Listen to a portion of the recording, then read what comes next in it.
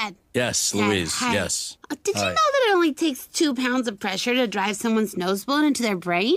That's what? Two pounds! That's it, Dad! Why are you telling me this, Louise? Revenge.